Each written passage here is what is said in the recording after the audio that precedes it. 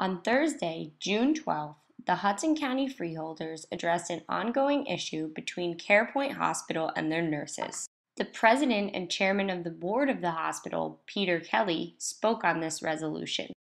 I want to make it clear for the record that CarePoint Christ Hospital um, has not threatened to lock the nurses out. Uh, We certainly reserve our right to lock the nurses out, as the nurses reserve the right to strike. At this point in time, neither party has uh, issued any kind of- of uh, ultimatum that that will happen. And we are confident and we are optimistic uh, that we will reach a resolution.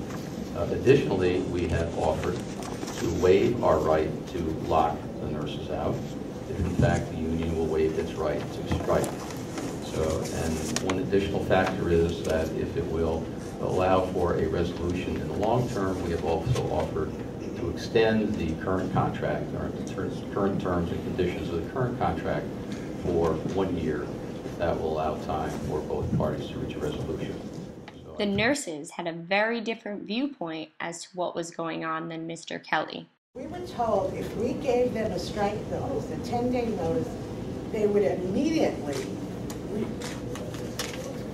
immediately start removing the patients from Christ Hospital and bringing them to the other two hospitals, since now they had that option by owning three hospitals, and immediately start laying people off. So when I hear that no threat was given, that is a misunderstanding maybe on Mr. Kelly's part since he was not sitting at the table.